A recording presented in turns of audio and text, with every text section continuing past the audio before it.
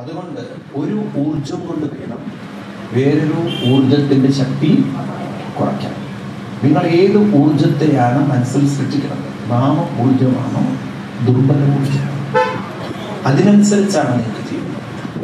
ഗീതയിൽ പതിനാലാം അധ്യായത്തിൽ ഇരുപതിയ ഇരുപതാം ശ്ലോകത്തിൽ വേണ്ട അത് വേണ്ട.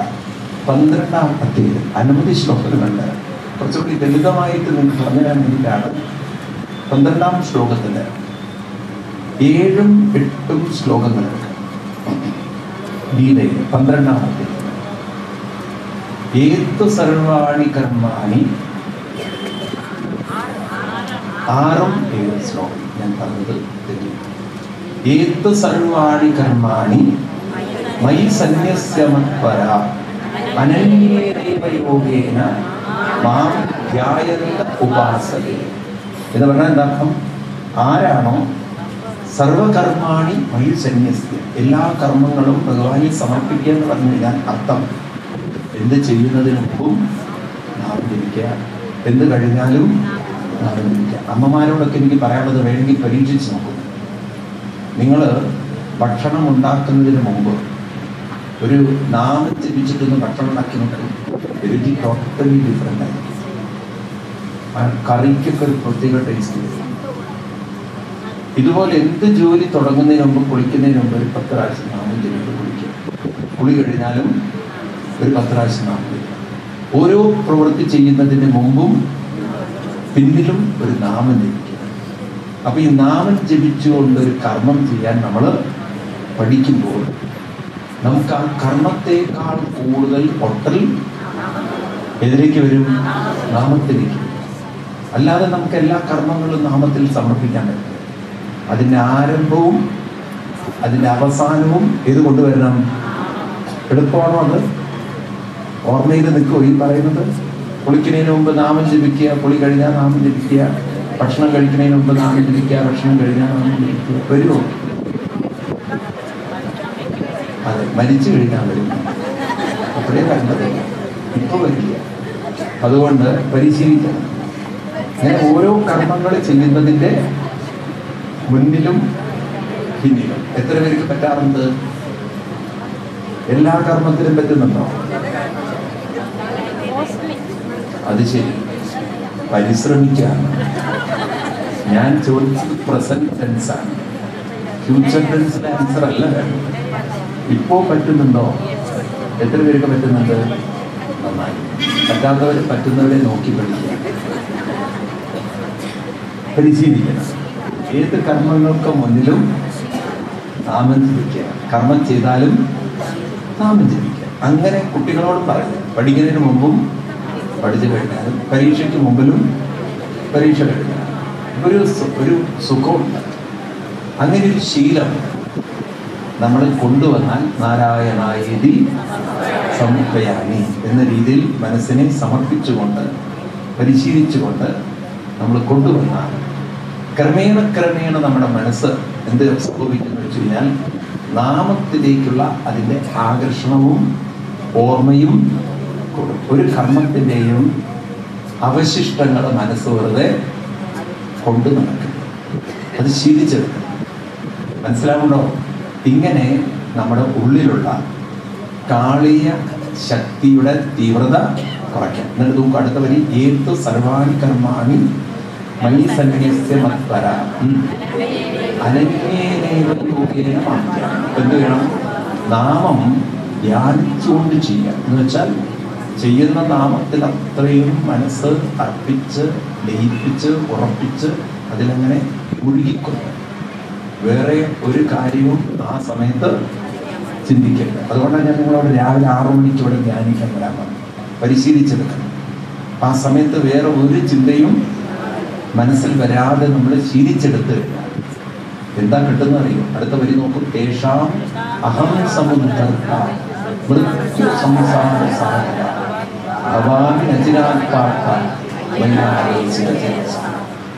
ആവേശിത ചികിത്സ. ആരുടെ മനസ്സാണോ? എന്നെ ആവേശിച്ചിരിക്കുന്നത്.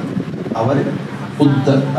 ഞാൻ അവരെ ഉയർത്തിയിരിക്കും എവിടെ നിന്നും? മൃത്യു സംസാര സാധ്യത മൃത്യു എന്ന് പറഞ്ഞാൽ ഭയം ദുഃഖം ഇതിൽ നിന്നൊക്കെ ഞാൻ അവരെ ഇത് തന്നെയാണ് കാളിയന്റെ പണത്തിൽ നിന്നും വിഷത്തിൽ നിന്നും ഉയരൽ അപ്പൊ നമ്മളെയൊക്കെ വിഷമാക്കുന്ന വിഷമമാക്കുന്ന വിഷാദമാക്കുന്ന കാളിയ വിഷം. കാമ ക്രോധ ലോഭ മോഹ മത മത്സര്യ ഭയ ദുഃഖ വിഷാദ ചിന്തകളായി നമ്മുടെ ഉള്ളിൽ ഉണ്ട് നമ്മളെ പിടിച്ചു വലിക്കും എന്ന് നമുക്ക് ആർക്കും അറിയില്ല. ക്രോധം തലയ്ക്ക് കയറിയാൽ കാളിയനേക്കാളും മോശമുണ്ട് ചില്ലറ ചീറ്റലൊന്നും അല്ലാതെ ഭയങ്കര പണം ഉയർത്ത് കൊത്തുന്നവരുണ്ട് മനസ്സിലാവുണ്ടല്ലോ നമ്മൾ പാമ്പ് നമ്മളെ കടിച്ച് തിരിച്ച് പാമ്പിനെ കടിച്ചിട്ട് പാമ്പ് ചെന്ന് പോയി അറിയുന്നു കേരളത്തിലാണ് തോന്നുന്നു എം എൽ എ കോൺഗ്രസിൽ നടന്നു അത്രേ ഒരു എം എൽ എ അണലി അടിച്ചു പാമ്പ് ചെത്തുമില്ല അയാൾക്കൊന്നും സംഭവിച്ചില്ല. അത്രയും വിഷം ആർക്കുണ്ട്?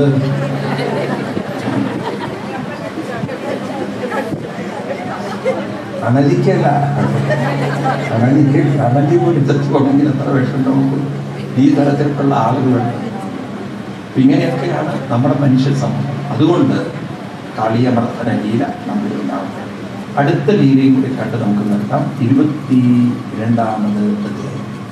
അവിടെയാണ് ഗോപികമാര് വളർന്നു വളർന്നു വളർന്ന് യൗവന യുക്തരായി പലരുടെ കല്യാണം കഴിച്ച കുട്ടികളാണ് അവർക്കൊക്കെ ഒരു മോഹം കൃഷ്ണനെ പതിയായി കിട്ടുന്നുണ്ട് അന്നത്തെ കാലത്ത് കൃഷ്ണനോടുള്ള അവരുടെ ആഗ്രഹം ആകർഷണം കൃഷ്ണനും കൂടി അവരുടെ ജീവിതത്തിൽ ഉണ്ടാകണം എന്നവരെ മോഹിച്ചു അങ്ങനെ കൃഷ്ണനെ പതിയായി കിട്ടാൻ വേണ്ടി ഗോപികമാര് എടുത്ത വ്രതമാണ് ഇത് കാത്യായനി വ്രതം കാത്യായനി വ്രതം എടുത്തുകൊണ്ട് അവർ ഒരു മാസം നീണ്ടു നിൽക്കുന്ന വ്രത അനുഷ്ഠാനങ്ങളൊക്കെ ചെയ്ത് പിന്നെ ഈ ധനുമാസത്തിലായിരിക്കാം അവർ അവരുടെ വ്രതം ഉപസംഹാരം ചെയ്തു ഇതായിരിക്കും പിൽക്കാലത്തൊക്കെ ഈ കേരളീയരൊക്കെ ധനുമാസത്തിൽ തിരുവാതിരക്കിയിട്ട് ആഘോഷിച്ചു വന്നത്. ഏതായാലും കാത്യായനി ദേവിയോട് കൃഷ്ണനെ ഞങ്ങൾക്ക് പതിയായി കിട്ടണം എന്ന് അവർ ആഗ്രഹിച്ചുകൊണ്ട് കാളിന്തിയിൽ കുളിച്ചുകൊണ്ട് അവർ ഈ മന്ത്രം ചൊല്ലുമായിരുന്നു. കാത്യായനി മഹാമായി മഹായോഗിന്യരീശ്വരി ദേവി. അങ്ങനെ ആ വ്രതത്തിന്റെ പൂർണത വരുത്തുന്ന ദിവസം രാവിലെ പുലർച്ചയ്ക്ക് അന്ന് ഇലക്ട്രിസിറ്റി ബോർഡൊന്നുമില്ല അന്നൊക്കെ ഈ വിളക്ക് കൊണ്ടൊക്കെ ജീവിക്കുന്ന കാലമായിരിക്കും. മണ്ണെണ്ണ ഉണ്ടോ എന്നുള്ള കാര്യത്തിൽ സംശയമാണ്. കാരണം അന്ന് മണ്ണെണ്ണയൊന്നും കണ്ടെത്താത്തൊരു കാലമായിരിക്കാം. ഈ പന്തങ്ങളൊക്കെ ഇരിക്കാം.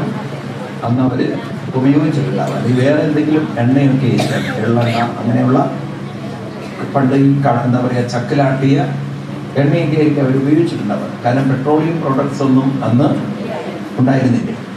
ഈ പാവം പുലർച്ചയ്ക്കെല്ലാം പോയി ടോർച്ച് ഒട്ടും ഉണ്ടാവില്ല. ആലോചിച്ചിട്ട് ആ കാലഘട്ടം കുളിക്കാൻ പോയി. ഇവർ അന്നത്തെ കാലമായതുകൊണ്ടൊന്നും ആര് ശ്രദ്ധിച്ചിട്ടുണ്ടാവില്ല. വസ്ത്രമെല്ലാം കൂടി കടവിൽ വെച്ചിട്ടാണ് കുളിക്കാനാണ് അതൊന്നും അന്നത്തെ ജീവിതത്തിൽ വലിയൊരു പ്രശ്നമുള്ള കാലമായിരിക്കില്ല. ഇന്ന് നമുക്കിത് പറയുന്നില്ല എന്ത് തോന്നും? ഏതായാലും ഇവർ വസ്ത്രം കഴിച്ചു വെച്ച് കുളിച്ച് കുളിക്കുന്ന സമയത്ത് മന്ത്രമൊക്കെ ചൊല്ലി കുളിക്കുന്ന സമയത്ത് പെട്ടെന്ന് പുല്ലാങ്കുഴൽ നാടൻ വെട്ടി അപ്പൊ അവൾക്ക് മനസ്സിലായി ഞങ്ങളുടെ പ്രാർത്ഥന ഫലിച്ചു. കാരണം കൃഷ്ണനെ പതിയായി കിട്ടണം എന്ന് പറയുമ്പോഴേക്കും കൃഷ്ണന്റെ ശബ്ദം കേൾക്കുന്നു. പുലാങ്കുഴൽ കേൾക്കുന്നത് കൃഷ്ണനെ കാണുന്നതിന് തുല്യ. അപ്പോ അവർ നോക്കുമ്പോണ്ട് അവർ കുളിക്കുന്നതിന്റെ കടവിന്റെ അടുത്ത് കടമ്പ വൃക്ഷത്തിന്റെ മുകളിൽ കൃഷ്ണൻ ചാഞ്ഞു കടന്ന് പുലാങ്കുഴൽ പുലർച്ചയ്ക്ക്. അപ്പൊ അവർക്കങ്ങനെ സന്തോഷം കൊണ്ട് മതി മറന്നു. പിന്നെയാണ് അവരുടെ ശ്രദ്ധ കൃഷ്ണന്റെ അടുത്തേക്ക് പോയപ്പോഴാണ് മനസ്സിലായത്. ഉടുത്തഴിച്ചിട്ട സാക്കാല വസ്ത്രങ്ങളും ആശാൻ പൊക്കി വെച്ചിട്ടുണ്ടായിരുന്നു ഒരു തുണി പോലും താഴെ എല്ലാം ഭാര്യ കൂട്ടി എവിടെ കൊണ്ടുവച്ചു ആ മരത്തിന്റെ മുകളിൽ തൂക്കി ഗോപികമാർക്ക് അപ്പോഴാണ് വെളിച്ചം ഓടിയത്. കയറിക്കഴിഞ്ഞാൽ കൊടുക്കാൻ തുണിയില്ല. അവരെല്ലാം കഴുത്തറ്റം വരെ വെള്ളത്തിൽ മുങ്ങി. നല്ല തണുപ്പും ഭാവം എന്നിട്ട് അവർ കെഞ്ചി കേട് നോക്കി. ദാസികളാണ് പ്രിയകളാണ് സഖികളാണ്. എന്തും അനുസരിക്കുന്നവരാണ്. ഞങ്ങൾക്ക് വസ്ത്രം ചെയ്യല വസ്ത്രം തന്നാലും. ഭഗവാൻ പറഞ്ഞു ആര് പറഞ്ഞു തരികയാണ്? നിങ്ങൾക്ക് വസ്ത്രം ഞാൻ തരും. ഗോപിമാരെ ഞാൻ കൊണ്ടുപോയില്ല ഓരോരുത്തർ വന്നോളൂ വന്നോളൂ ഇവർ കയറി വരുമോ നാണക്കേട് മോശം ഇവരാരും കയറി വന്നില്ല എന്ന് മാത്രമല്ല അവർ പറഞ്ഞു കൃഷ്ണ തന്നിട്ടില്ലെങ്കിൽ ഞങ്ങൾക്ക് രാജാവിനോട് പറയേണ്ടി വരും. എന്ന് വെച്ചാൽ നന്ദഗോപരോട് പറയേണ്ടി വരും. കൃഷ്ണൻ പറഞ്ഞാൽ വേഗം പറഞ്ഞിട്ടൊക്കെ വരും. എന്നിട്ട് നമുക്ക് വസ്ത്രം തരാം. ആരെങ്കിലും കയറുമോ അവസാനം വ്യത്യസ്തരില്ലാതെ എല്ലാവരും കയറി. ഒന്ന് ആലോചിച്ചു അന്നത്തെ കാലത്ത് മൊബൈൽ ഇല്ലാത്തവരുടെ ഒരു ഭാഗ്യം അല്ലേ? ഇന്നൊക്കെ ആണെങ്കിൽ എന്തൊരു കഷ്ടമാണ് നോക്കൂ. ഉടുത്ത് കുടിച്ച് തന്നെ കാര്യം കൊണ്ട് അപ്പൊ അങ്ങനെ ഇവരൊക്കെ കയറി. കയറി അങ്ങനെ അവർ ഓരോരുത്തരും ഓരോരുത്തരുടെ പിടികൾ അങ്ങനെ നാണം മറച്ചങ്ങനെ നിൽക്കുകയാണ്. പാവം അത്ര വിഷമിച്ചു. അപ്പൊ ഭഗവാൻ പറയാണ് നിങ്ങൾ ഇങ്ങനെ കുളിച്ച് തൊട്ട് ശരിയായില്ല. അതുകൊണ്ട് പ്രായച്ചിത്തം ചെയ്യണം. എന്ന് വെച്ചാൽ നിങ്ങൾ ചെയ്ത തെറ്റിനൊരു ഒരു പ്രായച്ചിത്തം. എന്താ പ്രായച്ചിത്തം? കൈ രണ്ടും മൂന്നാകും നോക്കണേ ഉള്ള നാണം മറയ്ക്കാൻ ആകെ രണ്ട് കൈകളുണ്ട് ഇനി ആ കൈ രണ്ടും കൂടുതലും കൂടെ വെക്കണം ഇന്നായിരുന്നു കൃഷ്ണൻ ചെയ്തതെങ്കിൽ ഏതൊക്കെ വകുപ്പുകളെ പെടുന്നറിയും കൃഷ്ണൻ അവതരിച്ചെടുത്ത തന്നെ കൃഷ്ണൻ ജീവിക്കുന്നില്ല. എന്ന് വെച്ചാൽ കൃഷ്ണൻ എവിടെ അവതരിച്ചത്? ജയിലിലാണ്. അവ അവിടുന്ന് പുറത്ത് കിടക്കാൻ പറ്റില്ല. ഈ രണ്ടായിരത്തി ഇരുപതിലാണ് കൃഷ്ണൻ ഈ പണി പ്രസവിക്കുന്നത് പിന്നെ കഴിഞ്ഞില്ല കൃഷ്ണന്റെ കാര്യം. ഏതായാലും കൃഷ്ണൻ പറഞ്ഞ പോലെ ആ ഗോപികമാര് മൂതാതിൽ കൈവച്ച് നഗ്നരായി കൃഷ്ണന്റെ മുന്നിൽ നിന്നു. അപ്പോ എന്തിനാ കൃഷ്ണൻ ഈ പണി ഒപ്പിച്ചത്? കൃഷ്ണൻ ചെയ്തത് ശരിയാണോ? ശരിയാണോ നിങ്ങളായിരുന്നു ആ സമയത്തെങ്കിലും ആ ഭാഗത്ത് ചിന്തിച്ചു നോക്കും നിങ്ങൾ. അപ്പൊ നിങ്ങൾക്ക് ശരിയാവില്ല. കണ്ടവര് തുണിയില്ലാതെ നിങ്ങൾക്ക് തന്നെ കുഴപ്പമില്ല. ആരാധനയ്ക്ക് ഭ്രാന്ത് വന്നാൽ നമുക്ക് കാണാൻ സുഖമുണ്ട്? പറഞ്ഞാൽ അതെ മറ്റൊരാൾക്ക് ഭ്രാന്ത് വരുമ്പോഴേ നമുക്ക് കാണാൻ സുഖമുണ്ട്. അങ്ങനെ കൃഷ്ണൻ എന്തിനത് ചെയ്തു എന്നത് ഭാഗവതത്തിൽ തന്നെ നമ്മൾ പഠിക്കണം. ഒരു ശ്ലോകം നിങ്ങൾക്ക് മിസ്സാറുണ്ട് ഇരുപത്തിയാറാമത് ശ്ലോകം. കൃഷ്ണൻ തന്നെ പറയുന്നുണ്ട് ഞാൻ എന്തിനാണ് ഈ കാര്യം ചെയ്തത്? പറയുന്നു. ന കാമകാമായ കൽപ്പതേ ഭക്ഷ്യത്വ കൊതിദാദാന പ്രായോ ബീജായ എന്ന് പറഞ്ഞാൽ എന്താ അർത്ഥം എന്നിലേക്ക് ആവേശിക്കപ്പെട്ട മനസ്സ് ഏതുപോലെയാണെന്ന് വെച്ച് ഭർജിത്വ കൊതിദാദാന ധാന്യങ്ങൾ ഭർജിക്കുക എന്ന് പറഞ്ഞാൽ വറക്കുക. വറുത്തു കഴിഞ്ഞാൽ ബീജം നശിച്ചത് വീണ്ടും അതൊരിക്കലും മുളയ്ക്കുകയും ഇതുപോലെയാണ് എന്നിലേക്ക് തിരിച്ചുവിട്ട മനസ്സ് വീണ്ടും മുളയ്ക്കുകയില്ല. എന്നാൽ ഇനിയൊരു ജന്മങ്ങൾ അവർക്ക് ഉണ്ടാവില്ല. ജന്മങ്ങൾക്ക് കാരണം നാം മരിക്കുമ്പോൾ കൊണ്ടുപോകുന്ന ചിന്തകളാകുന്ന വിത്താണ് ചിന്തകളാണ് മനുഷ്യനെ ഉറപ്പിക്കുന്ന വിത്ത്. നമ്മളും ഒരു വൃക്ഷമാണ് നമ്മളും ഒരു തയ്യാണ് ചെടികളെ മുളപ്പിക്കുന്ന വിത്ത് നമുക്ക് കണ്ണുകൊണ്ട് കാണാം. നെല്ലായാലും പുല്ലായാലും തെങ്ങായാലും മാവായാലും ചക്കയായാലും നിങ്ങൾക്ക് കാണാൻ ഒരു ചക്കക്കുരു മുളച്ച് വരും. മാവിന്റെ മുളച്ച് വരും തെങ്ങ് തൈ മനുഷ്യനെ വളർത്തിക്കുന്ന വിത്ത് ചിന്ത ചിന്തയുണ്ടോ ഇനിയും മുളയ്ക്കണം മനസ്സിലുണ്ടോ നിങ്ങൾക്ക്? ചിന്തയുണ്ടോ ഇനിയും മുളയ്ക്കണം ഇനിയും ജനിക്കണം. തീ മുളയ്ക്കാൻ പ്രേരിപ്പിക്കുക. മന മനുഷ്യ മനയേവ മനുഷ്യേന്ദ്ര ഭൂതാനം അവഭാവനം പുസ്തകം വായിക്കുക. നാലാം സ്കന്ധം ഇരുപത്തൊൻപതാമത്തെ എഴുപത്തിരണ്ടാം ശ്ലോകം. മന ഏവ മനുഷ്യേന്ദ്ര ഭൂതാനം ഭവഭാവനം മനസ്സ് തന്നെയാണ് മനുഷ്യനെ വിത്ത് ചിന്തകളാണ് നല്ല ശ്ലോകമാണ് നമുക്കത് അറിഞ്ഞിരിക്കണം. ഇനിയും ജനിക്കാൻ കാരണം നമ്മൾ ഇവിടെ നിന്ന് കൊണ്ടുപോകുന്ന ആരെ ആരെക്കുറിച്ചൊക്കെ വേവലാതിയും ആവലാതിയും പരാതിയും വിഷമവും ദുഃഖവും വച്ച് ജീവിച്ചോളൂ വളർത്തണം. ഈ ചിന്ത വീണ്ടും ഉണർത്തി അപ്പൊ അതുകൊണ്ട് കിട്ടിയ ശ്ലോകം കിട്ടിയോ ആരെങ്കിലും പുസ്തകമുണ്ടോ? നാലാമത് സ്കന്ധം ഇരുപത്തൊൻപതാം അധ്യായം. ഇരുപത്തൊൻപതാം അധ്യായം. മനയേവ മനുഷ്യേന്ദ്ര? എഴുപത്തി എഴുപത്തേഴാം ശ്ലോകം. എഴുപത്തി ഏഴാമത് ശ്ലോകം. എഴുപത്തി ആറ് പറഞ്ഞു എഴുപത്തേഴാം ശ്ലോകം. മനയേ സെക്കൻഡ് ലൈൻ മനയേവ മനുഷ്യേന്ദ്ര? ഭൂതാനം മനസ്സ് തന്നെയാണ് മനുഷ്യനെ മുളപ്പിക്കുന്ന ഭവം ഭവിപ്പിക്കുന്ന വീണ്ടും ജനിപ്പിക്കുന്ന കാരണം വിത്ത്. മനസ്സിലാവുമല്ലോ? അതുകൊണ്ട് നമ്മൾ വെറുതെ വേണ്ടാത്തത് ചിന്തിച്ച് കൂട്ടി സമയം കളഞ്ഞാൽ നിങ്ങൾ വിത്ത് സൂക്ഷിക്കുകയാണ്. വിത്ത് എടുത്തു വയ്ക്കുകയാണ്. എന്തിനുള്ള വിത്ത്? തിരിച്ചു വരാൻ ഇനിയും അതുകൊണ്ട് എന്ത് വേണം? ഭഗവാൻ പറയണു മയ്യാവേശ മനസ് മയ്യാവേശിതീയ തീ എന്ന് പറഞ്ഞാൽ ശ്രദ്ധ നിങ്ങളുടെ ശ്രദ്ധ എന്നിലേക്ക് ആവേശിച്ചാൽ എന്നുവെച്ചാൽ നാമസങ്കീർത്തനങ്ങളിലേക്ക് നാമസ്മരണയിലേക്ക് ശ്രദ്ധ തിരിച്ചുവിട്ട് അതിലേക്ക് നമ്മുടെ ശ്രദ്ധ ആഴ്ന്നിറങ്ങിയാൽ ഏതുപോലെയാണ് പച്ചിത്വ പുരിതാന വാർത്ത വിട്ടുപോകുകയാണ് ബീജം നയിച്ചത് വീണ്ടും മുളയ്ക്കത്തില്ല അപ്പൊ നമുക്കൊക്കെ മുളയ്ക്കാതിരിക്കണമെങ്കിൽ എന്താ വഴി? നാമം മനസ്സിൽ ഉറപ്പിച്ചുറപ്പിച്ചുറപ്പിച്ചുറപ്പിച്ച് കൊണ്ടുപോകും ശരി. അതിനെന്താ ഗോപികമാരുടെ വസ്ത്രം മാറ്റി വയ്ക്കുന്ന കാര്യം?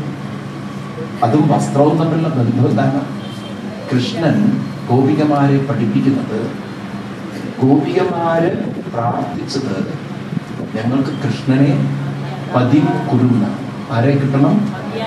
ഭഗവാൻ ഗോപികമാരെ പഠിപ്പിക്കുന്നത് എന്നെ ഭർത്താവായി കിട്ടാനല്ല ശ്രമിക്കുന്നത്. എന്നിലേക്ക് അലിഞ്ഞു. ഞാനും നിങ്ങളും രണ്ടല്ല. ഞാനും നിങ്ങളും അപ്പൊ അതിന് തടസ്സം സൃഷ്ടിക്കുന്ന ഒരു ചിന്ത വസ്ത്രമാണ്. നിങ്ങൾക്ക് സ്ത്രീ എന്നൊരു തോന്നൽ ഞാനൊരു ആണെന്ന് തോന്നൽ. ആ തോന്നലിൽ നിന്നും നിങ്ങളുടെ ശ്രദ്ധ മാറ്റണം നിങ്ങൾ അപലകളോ ദുർബലകളോ അവശകളോ ആയ സ്ത്രീയല്ല. ആ വസ്ത്രം എന്നത് ശരീരത്തെ പ്രതി പ്രതി പ്രതിനിധീകരിക്കും കൃഷ്ണൻ വസ്ത്രം എന്ന് പറയുന്നത് ശരീരത്തെയാണ്. ഗീതയിൽ കൃഷ്ണൻ പറഞ്ഞിട്ടുണ്ട് വാസാംസികീർണാനി ഇരുപത്തിരണ്ടാം ശ്ലോകം രണ്ടാം കേൾക്കുന്നത് വാസാംസികീർണാനിയതാവിഹായ നവാനി ഗൃഹാതി നരോപരാണി തഥാ ശരീരാണി വിഹായ ജീർണാനി അന്യാനി സംയാതി നവാനി ദേഹി എന്ന് പറഞ്ഞു. അപ്പൊ ദേഹത്തെയാണ് വസ്ത്രം ശ്രദ്ധിക്കുന്നതാണ് മനസ്സെന്ന വിത്തിനെ പൊതിഞ്ഞിരിക്കുന്ന വസ്ത്രമാണ് ദേഹം. ഈ ദേഹം ഒരു വസ്ത്രമാണ്. അപ്പൊ കൃഷ്ണൻ ആ വസ്ത്രത്തെയാണ് അവരിൽ നിന്നും എടുത്തു മാറ്റിയത് എന്ന് പറഞ്ഞാൽ എന്താണ്? നിങ്ങൾ സ്ത്രീ എന്ന ഒരു ദേഹം അല്ല ആ ദേഹബോധത്തെ മാറ്റാൻ വസ്ത്രത്തെ മാറ്റി. നിങ്ങൾ ദേഹമല്ല നിങ്ങൾ മന ബോധ മനസ്സാണ് അത് നാമത്തിൽ മുഴുകിയാൽ ഞാനും നിങ്ങളും ഒരേ ബോധം തന്നെയാണ്. അതുകൊണ്ട് തന്നെ ഭർത്താവായി കിട്ടാനല്ല പ്രാർത്ഥിക്കുന്നത് ഞാനും നിങ്ങളും ഒന്നാവാൻ വേണ്ടി പ്രയത്നിച്ചുകൊണ്ടിരിക്കണം കൃഷ്ണൻ അവരെ തന്നിലേക്ക് ചേർത്ത് ഉയർത്തി ഒന്നാക്കുന്ന ഒരു സന്ദേശം പകർന്നു കൊടുക്കുന്ന ലീലയാണ് വസ്ത്രാപഹരണ ലീല. ഈ വസ്ത്രാപഹരണം നമുക്കും ഉണ്ടെന്ന് പറയാം കാലം ഈ വസ്ത്രം അപഹരിക്കും. ആ സമയത്ത് മനസ്സ് ചിന്തകളുമായി ഇവിടെ നിന്നും പോകും. അത് പുനർജന്മങ്ങളിലേക്ക് വരും അതുകൊണ്ട് കാലം ഇതിനെ അപഹരിക്കുന്നതിന് മുമ്പ് കൃഷ്ണൻ ഗോപികന്മാരുടെ വസ്ത്രം എടുത്തു മാറ്റിയതുപോലെ കാലം ഇതിനെ എടുത്തു മാറ്റുന്നതിന് മുമ്പ് ഈ വിത്തുകൾ മുഴുവൻ നാമമാക്കി വെച്ചാൽ പുനർജന്മം നൽകിയത് പിന്നൊരിക്കലും പുനർജനിക്കേണ്ടി വരും അപ്പൊ കാലം ഈ വസ്ത്രം ഒഴിച്ചു മാറ്റുന്നതിന് മുമ്പ് മനസ്സിനെ മുഴുവൻ നാമമാക്കാൻ സാധിക്കുന്നവരാണ് ഈ ജന്മ സാഫല്യം സുഹൃതം മനസ്സിലാവുണ്ടല്ലോ അതാണ് നമുക്ക് ഓരോരുത്തർക്കും ചെയ്യേണ്ടതെന്ന് ഓർമ്മിപ്പിക്കുന്ന ലീലയാണ് വസ്ത്രാപകരണ ലീല. കൃഷ്ണന്റെ ലീല കൊണ്ട് അത് തീരുന്നില്ല. നമ്മളെ വലിയൊരു ഉത്തരവാദിത്വം അത് ഏൽപ്പിക്കുക അപ്പൊ ഇങ്ങനെ ഓരോ ലീലകൾ. ഇനി അടുത്തത് ഗോവർദ്ധന ലീല രാസലീല പിന്നെ നേരത്തെ വായിച്ചു നടത്തിയ അതിഗംഭീരമായ ഉദ്ധവ ദൂത് അതിനു മുമ്പ് കംസവധം ഈ ഭാഗങ്ങളൊക്കെ നമുക്ക് അടുത്ത സെഷനിൽ അത് കഴിഞ്ഞ പിന്നെ കാണേണ്ടുന്ന അതിഗംഭീരമായ ഒരു ഭാഗമാണ് കൃഷ്ണന്റെ വിവാഹം. അതാണ് രുക്മിണി സ്വയംവരം എല്ലാവരും കാപ്പി കഴിച്ചിട്ട് വേഗം വരെ അതിഗംഭീരമായിട്ട് നമ്മൾ രുക്മിണി സ്വയംവരം ആഘോഷിക്കാൻ സർവത്ര ഗോവിന്ദനാമ സങ്കീർത്തനം സർവത്ര ഗോവിന്ദനാമ സങ്കീർത്തനം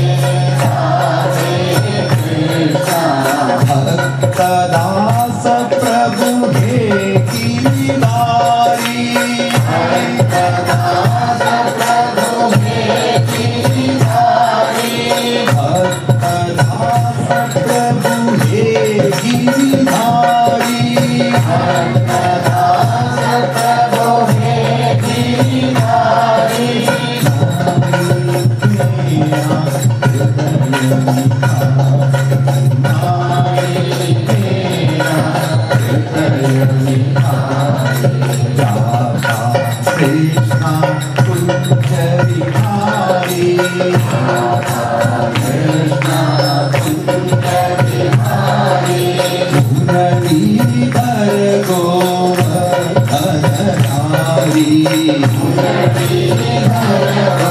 you.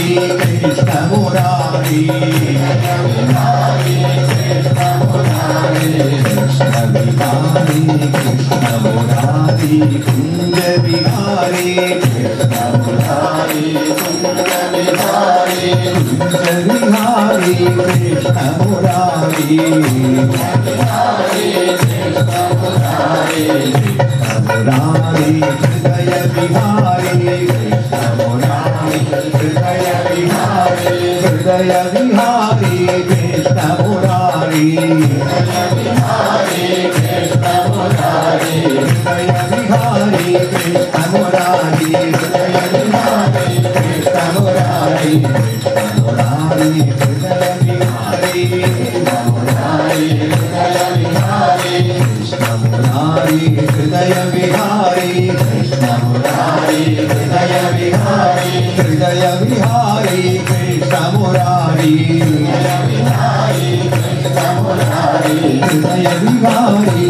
सरो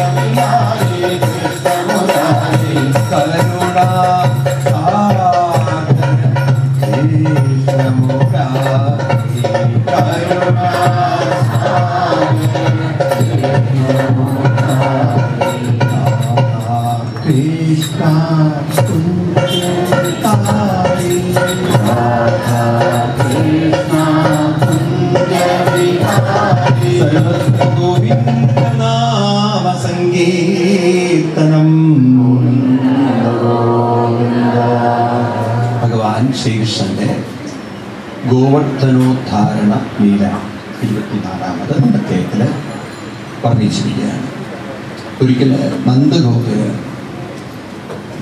മഴയ്ക്ക് വേണ്ടി ഇന്ദ്രയാഗം ചെയ്യുന്നതാണ് രംഗം. അപ്പൊ കൃഷ്ണൻ അച്ഛനോട് ചോദിക്കുന്നതാണ് കാണാത്ത ഇന്ദ്രയാണോ പൂജിക്കേണ്ടത്? അതാണോ ശരിക്കുള്ള ഒരു പൂജ? അതോ കാണുന്ന ശക്തികളെയാണ്? വളരെ ലോജിക്കൽ ക്വസ്റ്റ്യൻ ആണ് കൃഷ്ണൻ ചോദിക്കുന്നത്. അച്ഛൻ ദൈവത്തെ ഇന്ദ്രനെ ഒന്നും കണ്ടിട്ടില്ല. കാണാത്ത ഒരാളെയാണോ അച്ഛൻ പൂജിക്കേണ്ടത് തൃപ്തിപ്പെടുത്തുന്നത്? പിന്നീട് കൃഷ്ണൻ പറഞ്ഞു കൊടുക്കുകയാണ് പൂജിക്കേണ്ടത് പർവതത്തെയാണ് കാരണം നമുക്ക് മഴ വെള്ളം ഇതൊക്കെ തരുന്നത് പർവതമാണ്. അയ്യായിരം വർഷങ്ങൾക്ക് മുമ്പ് കൃഷ്ണൻ പറയുന്നത്.